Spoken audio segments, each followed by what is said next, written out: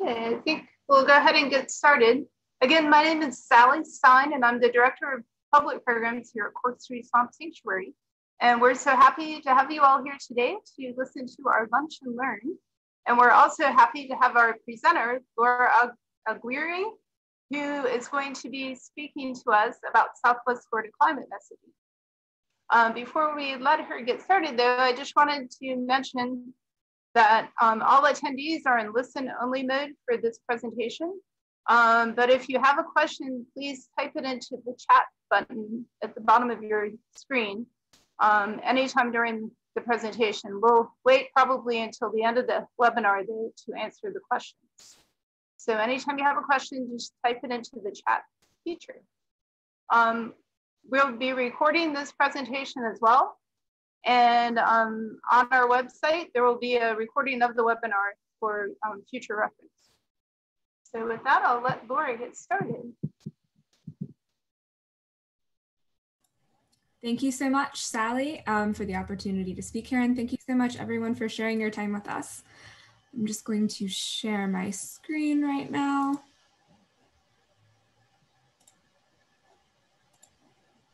And we will get started. All right, so this is just a brief overview of some of the things that we're going to discuss today. One is terms that we're going to use when we talk about climate change. Two is the psychology around climate change and climate impacts and how we can strategically communicate to motivate people towards action. And then lastly, I'm going to talk about a specific opportunity for engagement and communication, which is the emerging Southwest Florida Regional Resiliency Compact. And before all of that, I'm going to talk a little bit about how I got to this information and to this advice. Um, so as Sally said, my name is Laura Aguirre, and I am a former high school teacher. And while I was teaching high school, I worked part-time for an environmental organization. I was also on the board, the all volunteer board of another. Um, and so I spent a lot of time talking about climate change and I spent a lot of time advocating for climate solutions. Um, that's a picture of me at a training. There's me in Tallahassee. And then when I wasn't doing those things, I was trying as much as possible to spend time outdoors, to remind myself why I was doing the work that I was doing, um, and to luxuriate in the beautiful natural spaces that Florida has and that I love. And at the same time that I was doing all of this and championing climate solutions, I was driving two and a half miles to work every day on a street that a lot of people bike on. Um, and in my defense, I had to get to work very early because I was a teacher. So I often got to work in the dark. Um, and in Miami, which is where I live, uh, bicycling is a is a dangerous activity given the state of our, our, our drivers here, and that's not a stereotype. We actually do have um, a lot of of problems with our with our bike lanes and with the lack of them and with bike safety. So i kept telling myself you're not doing this because you're too lazy to enact a climate solution. You're doing this for your own personal health and well-being. But it was still something that bothered me. And then at the same time because i was young and i was a teacher i used to save up all my money during the year and i used to go traveling during the summers. Um, and at some point i stopped and i said well traveling by plane, um, and I did travel by plane, right? I, I didn't sail to any of these places. Traveling by plane really enlarges my carbon footprint. So, am I being hypocritical by advocating for climate solutions, but then taking all of these cross continental trips during the summer? Um, and then I started talking to other people in my circles. And I recognized that I was not the only one having these concerns. Um, my boyfriend at the at the time, who is now my husband, uh, really is interested in electric vehicles and EV technology. But he grew up working on cars and loves muscle cars. Uh, he's the type of person who can like recognize the car by the sound of the engine. Um, and lots of my friends were just so relieved that they could Amazon Prime things to their house, specifically when they had kids and time was limited. Uh, and I grew up in a Hispanic household where people eat a lot of meat. So even talking to people in my family members, my, my family, they have such cultural associations with um, eating meat, especially around holidays or just parents' recipes. And I realized that there were so many of us who were in this space where we were talking about climate solutions, but also just thinking through how those might not gel with our individual actions. Um, and I felt like the biggest fraud. Um, and I started wondering if I was really meant to be an environmental advocate. Um, and I had what some might call a little bit of an ex existential crisis. Um, and I channeled all of that energy into my graduate thesis, um, which was about grassroots climate advocacy and communicating in ways that met people where they were and which acknowledged the fact that we are in a changing world. So I came to this. There are very legitimate reasons why people are not as concerned about climate change as you are, as we are sometimes, or why sometimes you are not even as concerned about climate change as you are. And what I mean by that is that sometimes we are hard on ourselves for not being what we consider like the perfect climate advocates. And this presentation is about how we can accept that we are excellent climate advocates exactly as we are. Um, and that when we're talking to and encouraging other people, we also have to help them see that they too are excellent climate advocates exactly as they are. And if we don't live, breathe, and think climate change, it's for very good reasons. Um, and here are some of them. Some of the ways that we communicate about climate change uh, land differently with different audiences. So technical terms and buzzwords that we use all the time oftentimes don't help us when we're trying to make a human connection. Um, and sometimes they're even more confusing. So I'm going to talk through a couple of the terms that we use really frequently. There's more that we could talk about. Um, and if you have questions about particular terms that you'd like me to address in the Q&A, please just drop those in the chat if I'm not covering those here.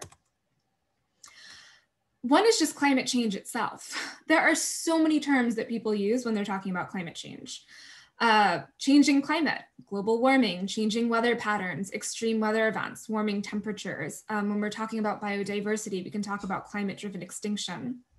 And research shows that most folks are familiar with the term global warming um, and that that lands well. That the term climate change can help in talking about effects that seem to counter the idea of global warming. So for example, extreme weather events in the winter. I understand that in Florida and in Southwest Florida, we don't see as many of those, of those blizzards, but talking about other places, that climate change can help folks understand that it's not just warming, but that there are climate disruptions that are affecting all kinds of systems. Um, at the same time, some of these terms have become really, really loaded for some audiences. And so it can be helpful to just talk about the impacts of climate change, to talk about the fact that we are seeing changing weather patterns, to talk about the fact that we are witnessing extreme weather events. Um, and to point to things like sea level rise and warming temperatures, and just skip to the impacts straight away. The other thing is that there's been this rise in matching the urgency of climate change with urgent language, using terms like climate crisis, climate emergency, and climate catastrophe. And that works really well for some audiences, but it's really alienating for others. Um, so when just even talking about climate change in general, being able to read the audience and think, is this the type of audience that I should just start with the impacts? Is this the kind of audience that is going to be galvanized um, by talking about climate driven extinction and focusing on biodiversity and recognizing that there are just myriad ways that we can address the fact of climate change itself? When we talk about climate change, inevitably we start hearing about greenhouse gases. And if you're in the thick of working in and volunteering around climate change, then this becomes a secondhand term. But the research also shows that folks don't really understand the process of how greenhouse gases warm the planet. Um, And it can be helpful to just clarify that these gases are heat trapping gases. Um, and so what they what they literally do, uh, and sometimes this is a metaphor that's used in climate communications training, is create almost like a blanket um, in the atmosphere, right? And just the way that if you have a thicker blanket, you will be warmer underneath. If you have a thicker blanket of heat trapping gases, the earth underneath will be warmer. Um, and it can be helpful to specify that we're talking about carbon emissions, although that's not the only greenhouse gas that we're worried about, but it is the one that people are most familiar with, and it's something comfortable that they can latch onto. When we flip from talking about the problem of climate change to the solution, two solutions um, that I'm going to talk about now are renewable energy and natural climate solutions renewable energy literally means um, resources that can be naturally renewed, right? And so in, in, in, Florida, that means solar for us. In other places, that means wind um, or geothermal. And sometimes folks talk about clean energy instead of renewable energy, and clean energy um, generally means energy that has reduced carbon emissions.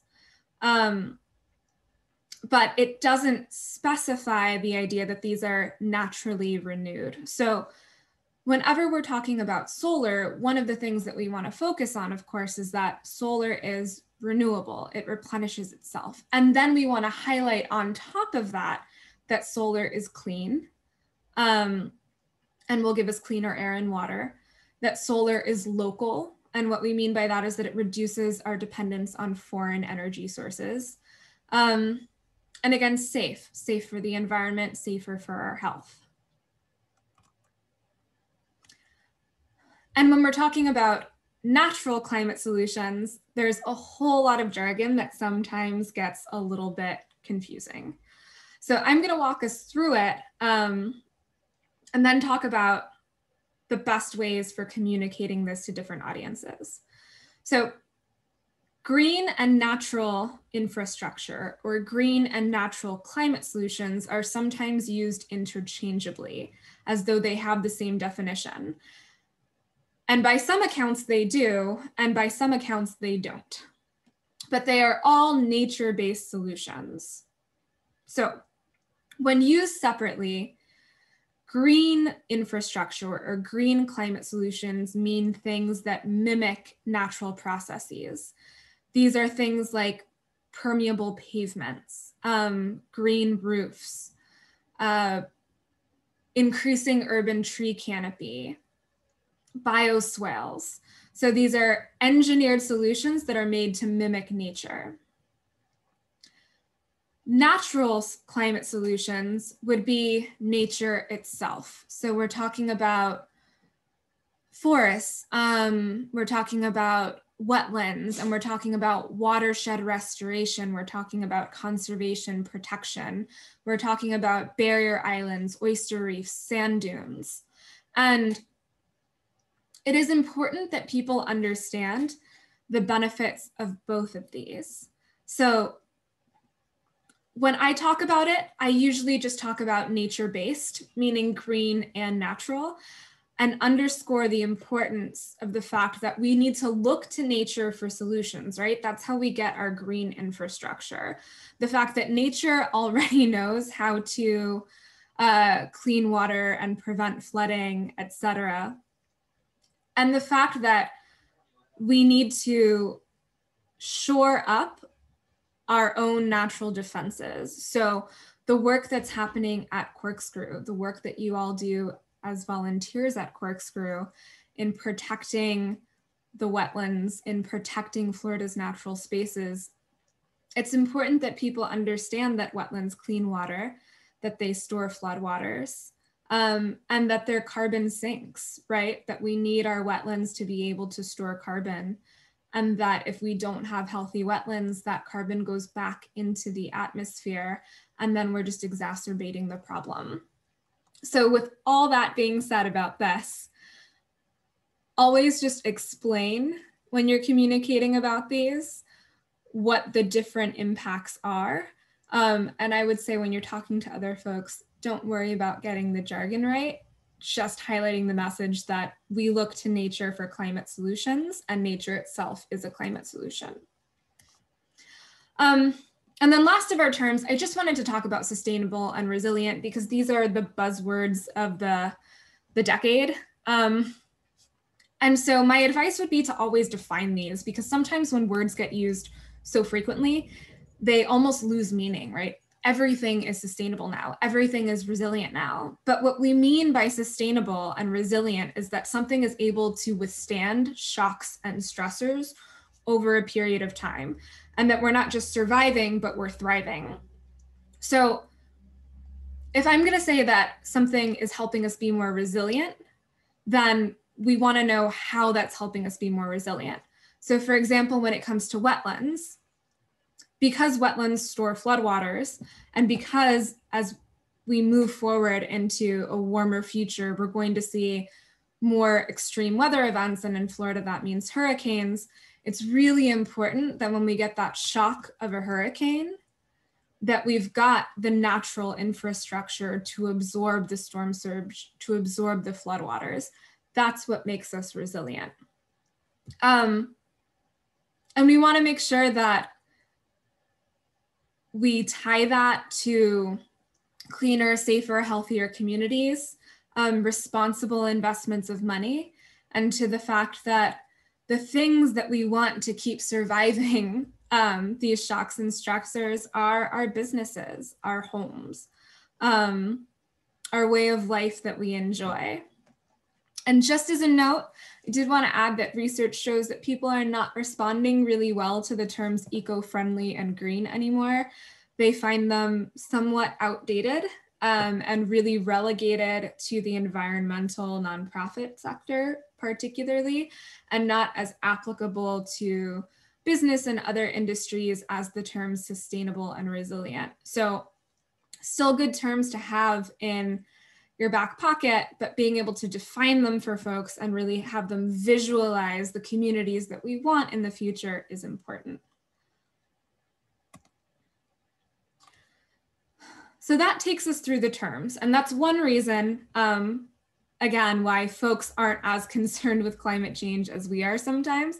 We've got to do the work of explaining. Um, and as volunteers, you know how important it is to be able to connect people um, to the things that you're teaching them. And I'm sure that you're all, all wonderful educators in that way. Um, and we've got to do the same for climate because climate change is hard to see. Um, it's all of these different impacts around the world, separated by time. Uh, and so we've got to make climate change personal and local and have some climate stories ready. Um, Research indicates that when people have the ability to talk about climate impacts that they can witness or that have happened to them, um, they're more open to engaging in solutions. And the thing is that most people don't talk about climate change a lot. This is um, the Yale program on climate change communications data from 2020 uh, for Collier County. And uh, only about 27% of people say they hear about global warming in the media at least once a week. Um, and 35% of people say they discuss global warming occasionally. Uh, but we would like for that to be more. Um, of course, the you know the news is full of climate stories, um, but a lot of the climate stories in the news are also quite dreadful um, as this indicates. And it's not that these stories aren't important, um, but the stories that are more important are the ones that people can relate to, and also the ones that indicate solutions, the ones that indicate that people are already acting. And this is because social conformity is kind of hardwired into us. Uh, just, of in, you know, from an evolutionary standpoint, standpoint, individuals who chart their own paths uh, sometimes have a rough time of it. And um, humans sometimes operate under what's called conditional cooperation, which is that we want to see that other people are contributing to something before we feel safe doing it. Um, so one way to do that is to emphasize consensus. This is from the same Yale program on climate change communication. For Collier County, 67% of people believe unequivocally that global warming is happening. Um, only 53% of people think that most scientists think that global warming is happening. Um, and this too is what the research shows that many people tend to underestimate the, the number of scientists that think that global warming is happening. And many people tend to underestimate the other people in their community that believe in global warming um, and that are engaged in either actively working on it or would just be willing to espouse climate solutions. Here's that same report, but focused on policy. Even though only 67% of people believe that global warming is happening, 86% of people think that we should fund research into renewable energy sources. Um, over 70% think that schools should teach about global warming. There's a lot of consensus around regulating carbon as a pollutant, um, about providing tax rebates for energy efficient vehicles or solar panels. So the truth is that there's already a lot of consensus around climate solutions, even if there's not as much consensus around climate change itself. Um, and so that's instructive for us, right? One thing that we can just say is point blank yes, scientists are convinced. There's a consensus of scientists because there's a consensus of evidence.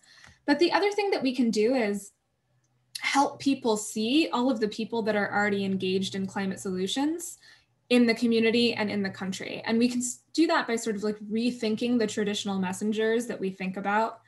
Um, and so one that I'd like to go to is Ford. Uh, this is in their strategic vision.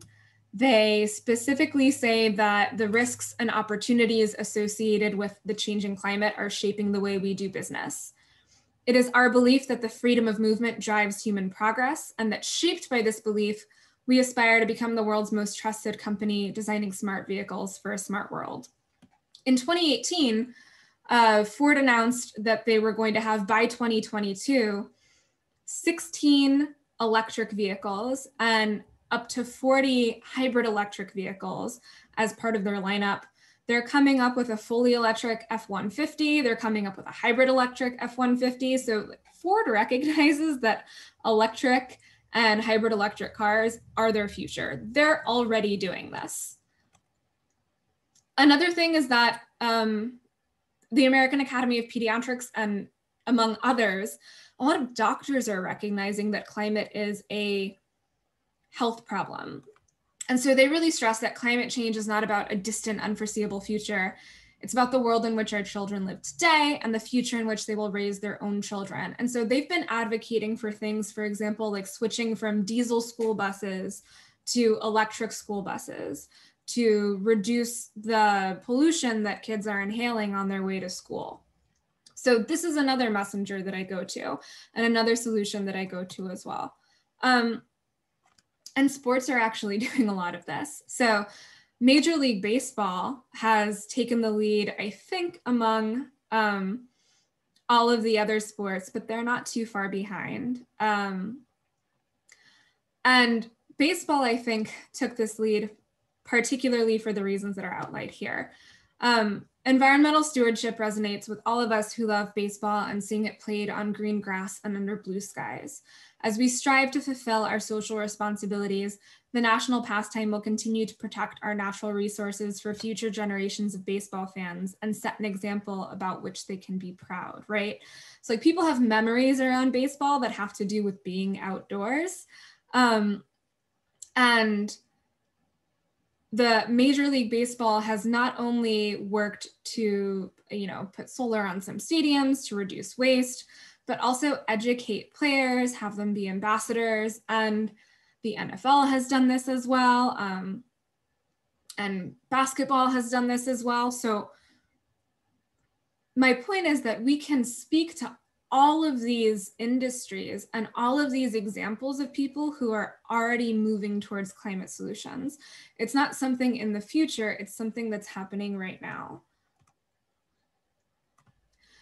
Now, if people are at the point where they are on board, they care, they want to see how they can help, um, we still have to be sensitive to the fact that people have what's called a finite pool of worry.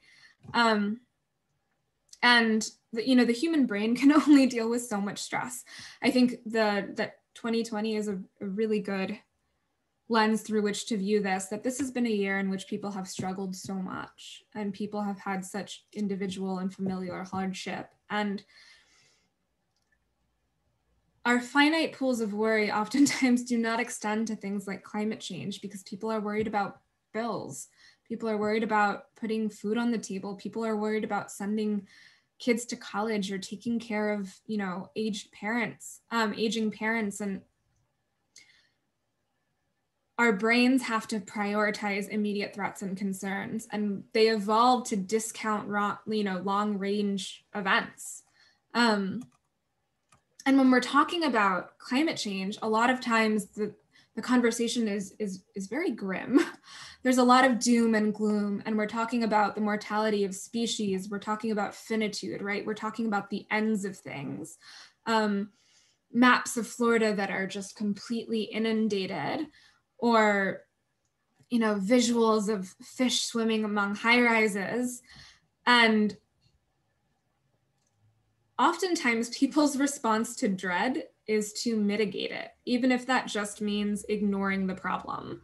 Um, there's a, a theory, terror management theory, which was aptly named, developed after a series of 300 experiments too, that showed that when faced with risk, um, people will often rationalize the threat to reduce um, the dread and the anxiety that they feel about a behavior that they know is risky. Um, and so that's that's who we are as people. That's what we do. Um, we try to mitigate our dread, we try to mitigate our anxiety, and sometimes that's by just feeling kind of paralyzed and focusing on other things that we can actually control. Um, and on top of that, people are actually just kind of bad at envisioning the future. Other research shows that when you say the word future, people imagine no more than 15 years into the future.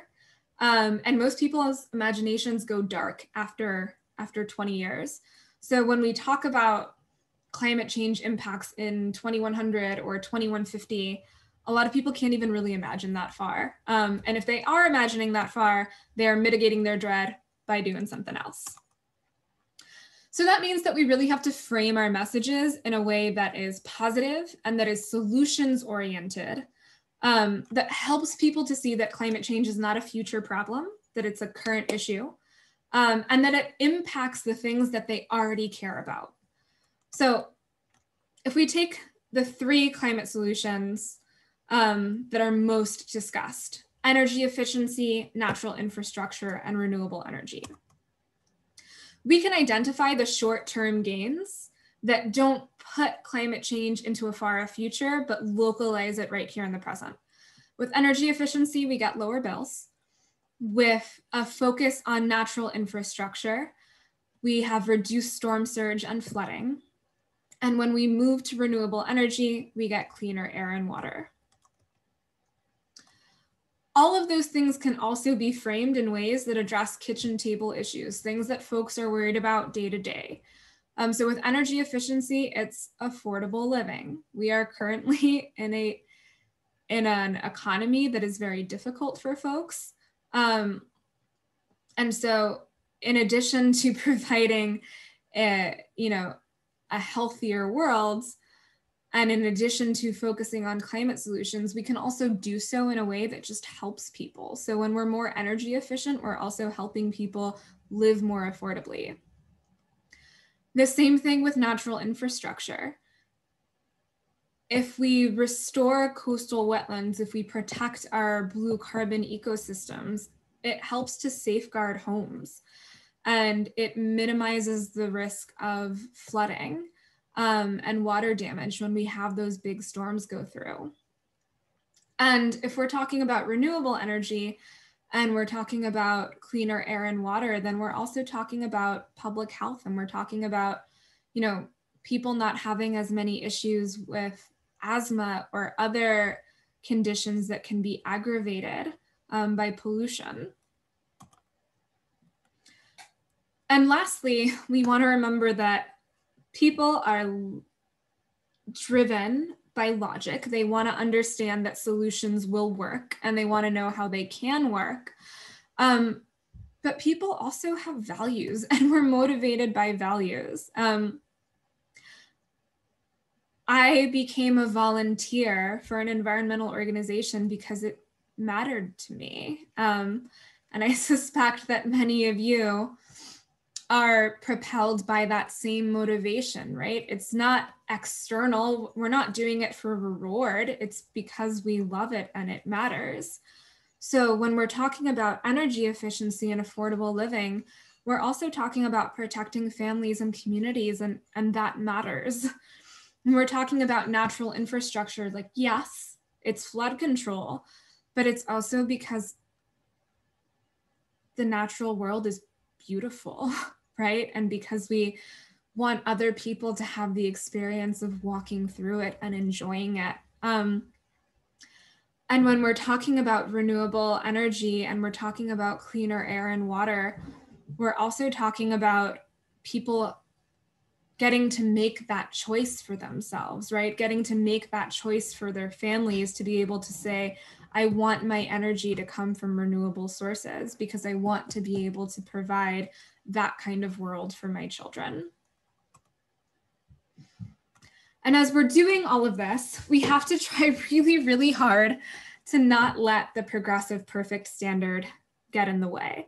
And that progressive perfect standard is what was hurting me so much when I was teaching and worrying about flying and worrying about biking because I had in my mind what an environmental advocate should look like. Um, and when I put the picture of myself next to the picture of that person, they didn't look the same.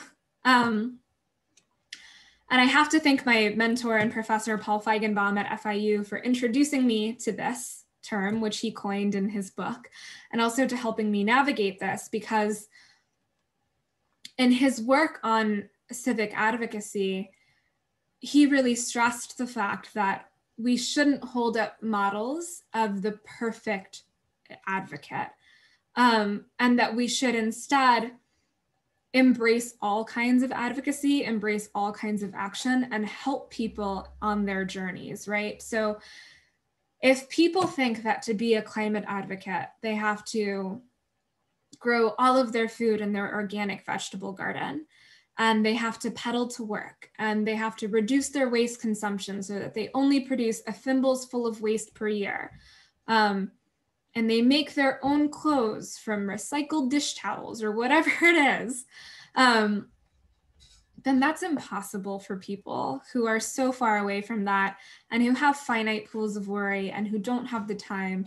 And so if we are kind to ourselves and kind to each other in recognizing achievements and in recognizing the different types of advocacy that exist, then that goes a long way in communicating to people that they can make a difference in exactly the life that they live and with the skill sets that they have. Um, and to do that, we've got to emphasize specific roles for people to play. So in summary, we wanna make sure that we give climate change and climate solutions presence. We gotta bring climate communications out of the future and into the present. We share stories and encourage storytelling so that people see how climate change is already impacting them in their lives.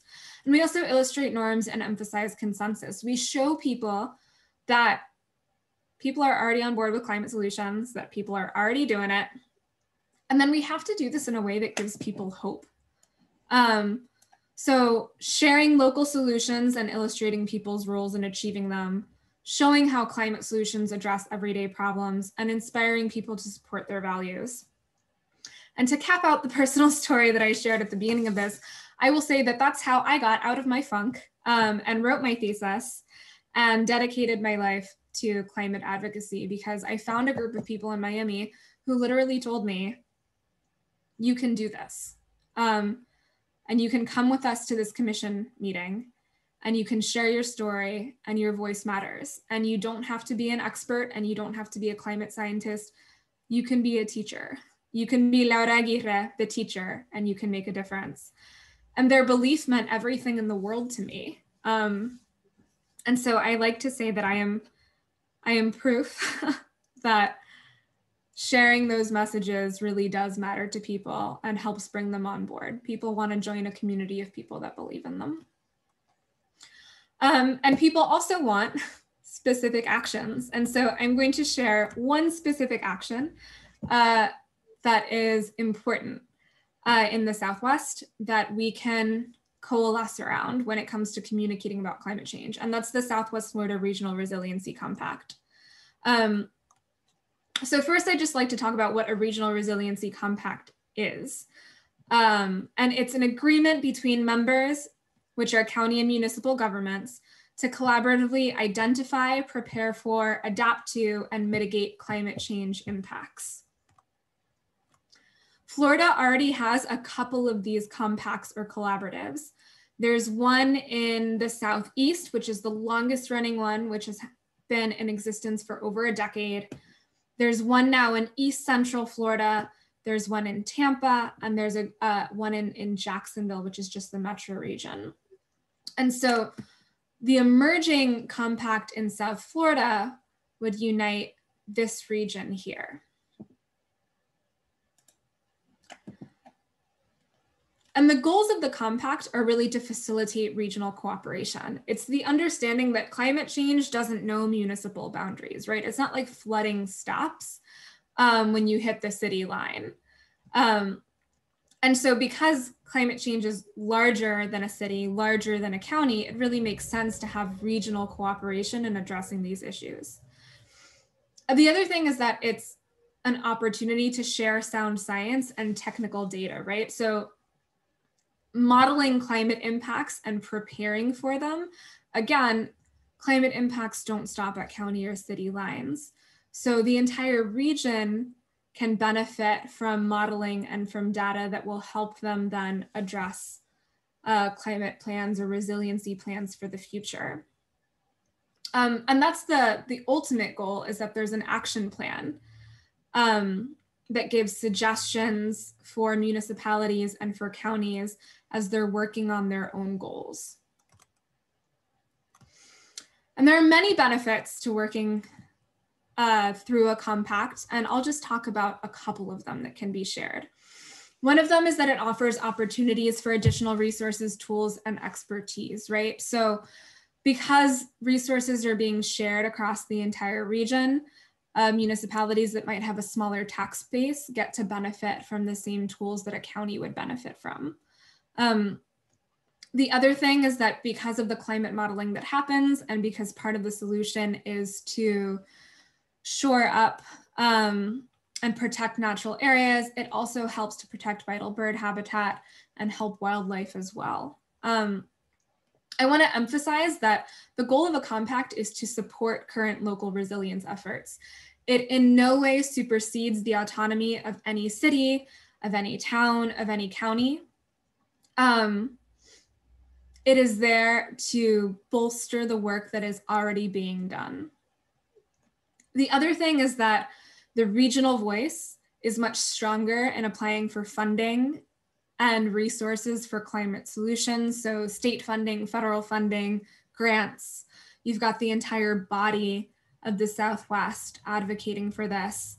Um, and then there are also really good opportunities for public-private partnerships and positive impacts for employment once you get to the stage where solutions are already being enacted and the plan is being implemented.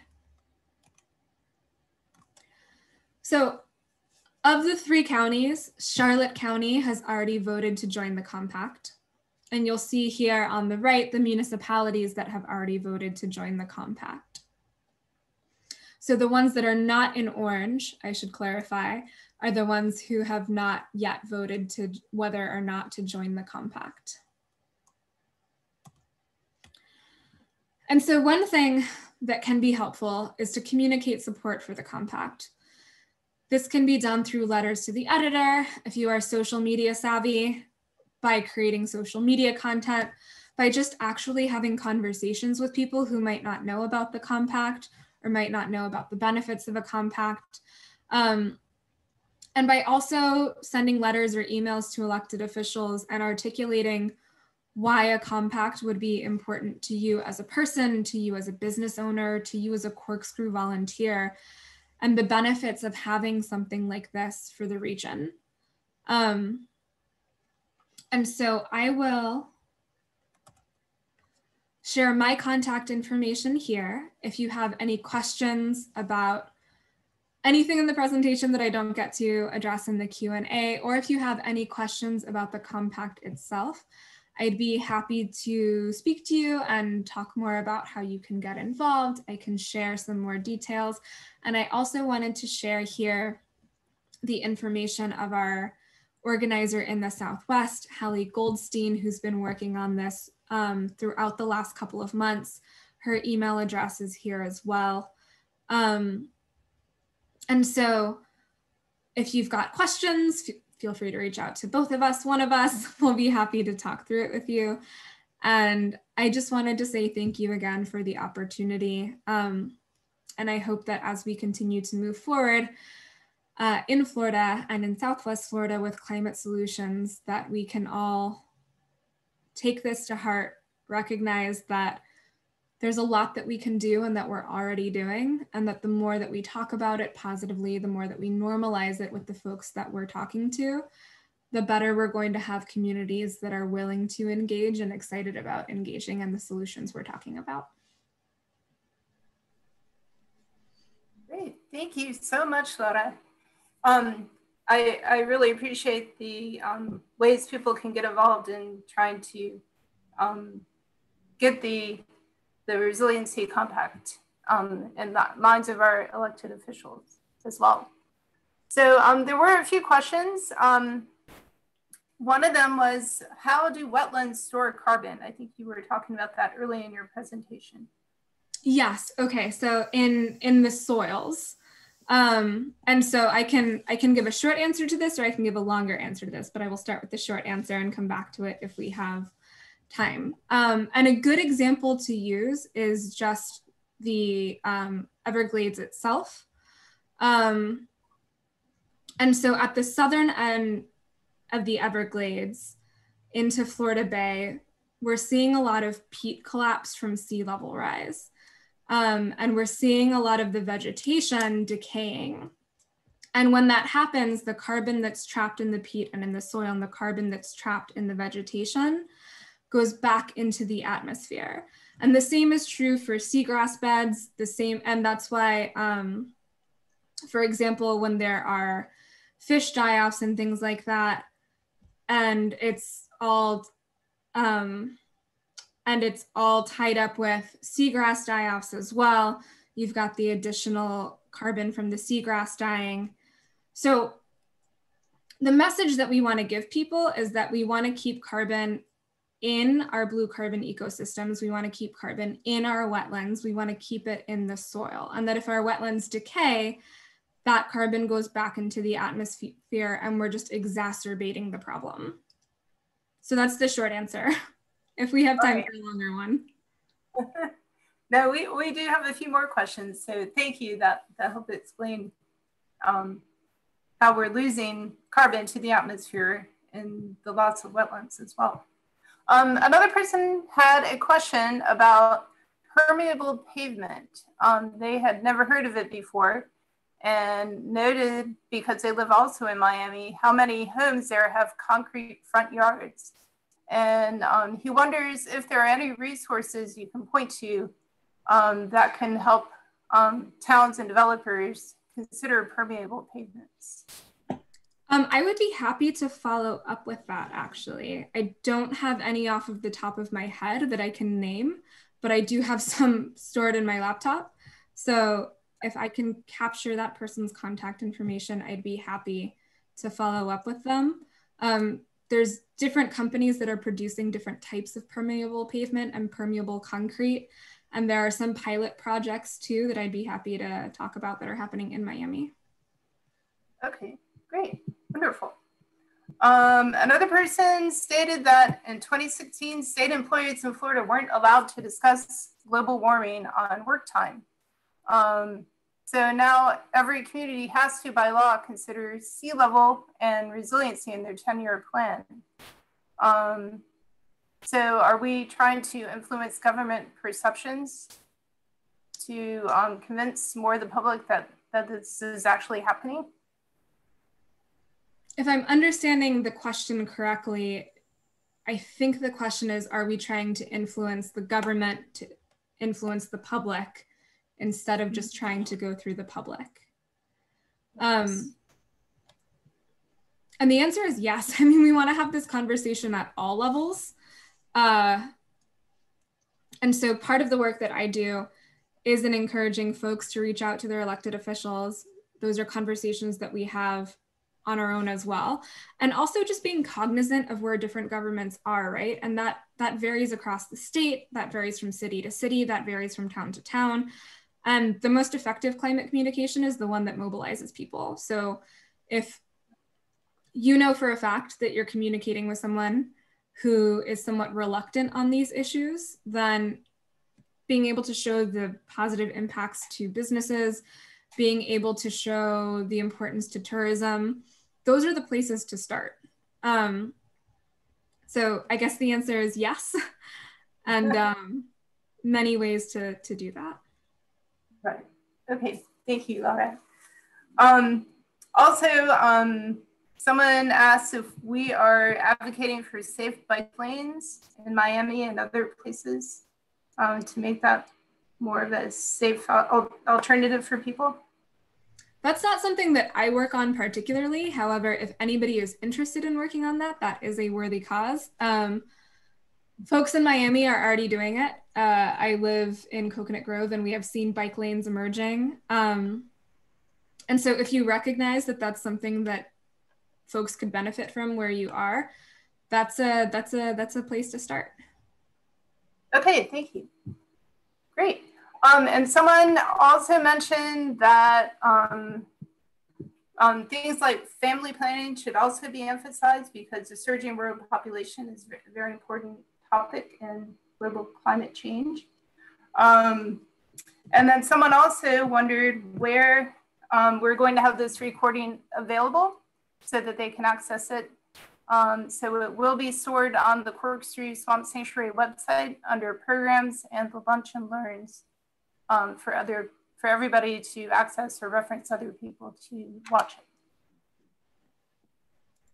Okay, so um, I think that was all the questions. Let me just double check I missed anything. Um, oh, someone wondered, um, do we get much help or backing from our governor? So the governor's office is, and I think somebody had mentioned this in a previous question, is focused on creating a plan around sea level rise and coastal impacts, um, which is not because that is the only way that Florida is going to be affected, but because that is the way in which we are seeing impacts currently. Um, and at the same time, I think that as Florida has continued to I don't want to say weather storms, but be impacted by storms. There's a lot of conversation about how to protect our coastal communities from storm surge, from erosion, how to protect businesses and the economy when so many of our coastal regions really really depend on people coming to enjoy the shore and really depending on people to to enjoy the beaches. Um, at the same time, there was a bill that passed last session, um, and sea level rise projections have to be considered um, for new development for for government. So there's things that are being done around that. And the more that we can point to that again, the more that we can encourage that, um, the more that we'll be able to multiply the resources and the help that's available. Okay. Thank you, Laura. Um, also, are there any parks that have projects that demonstrate green um, or eco-friendly infrastructure in there, the Miami area or anywhere that you're familiar with in South Florida? Yeah, so I can, if, if the person asking is from Miami, I can speak to a couple projects there. Um, if that, I don't know if that was the particular question. Yeah, they just said do any park, so I'm not sure where where they're from. It doesn't say. So. Oh, okay. Um, sure. And you know, if it's if it's helpful, I don't know if we can communicate with the folks who attended this webinar, but I could also send around a list of those, which I think might be nice. Um, okay. I believe we have everyone's email address. So. Yeah, I could send around a list of those. Um, okay. And if the person who asked that question, I was, I'll, send her out a list for for Southwest Florida. But if the person who asked that question wants to clarify and say that they're from the Southeast, um, I can just follow up with them. Okay, we'll see if they write write anything back. All right, well, thank you very much, Laura. I think that was the end of the questions that are on here for now. Um, so, oh, she did right. She said she's from Titusville, but she can travel. So okay, examples. but thank you very much. We all have um, a lot of information to take in on this and um, gives us a lot of things to think about. So thank you very much. And um, we really appreciate you taking the time to speak to our volunteers and our audience that attended today. Thank you so much for the opportunity.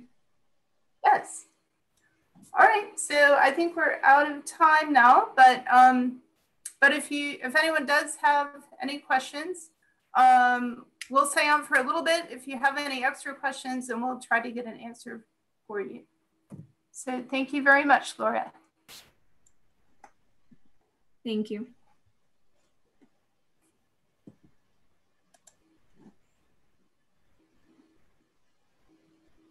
All right, everyone's saying nice presentation, great presentation. So, but I haven't seen any other questions pop up yet. We'll wait for another couple of seconds and then we'll say goodbye.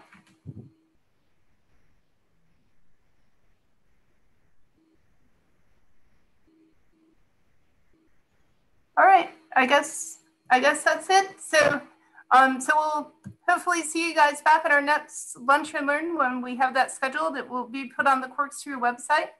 Um, so just keep a lookout for there for that. It'll also be announced in our newsletters. So um, thank you all for attending and um, we look forward to seeing you at Corkscrew one of these days sometime soon. All right, thanks everybody.